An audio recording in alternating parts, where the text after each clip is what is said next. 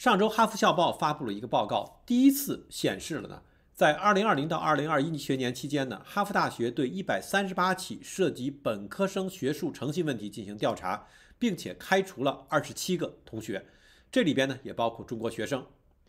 我们知道哈佛的本科生呢一共有7100人，那130名学生有学术诚信问题呢，也就是将近百分之二的学生。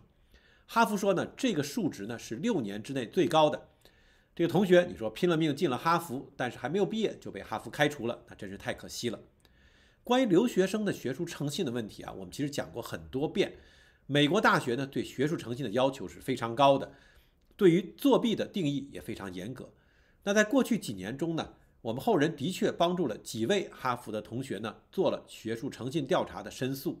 比如说呢，有一位哈佛的学霸成绩一直都很好，但是在一次呢 take home exam 就是带回家的。考试，他因为和其他同学对答案被老师发现并且举报。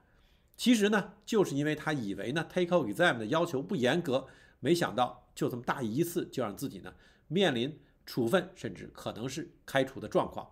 后来呢，学生找到我们，我们帮助他呢跟老师来解释和同学交流的问题，并且根据学校的流程给学生做一步一步的申诉。最后，哈佛只给这个同学一个警告，没有留下任何的。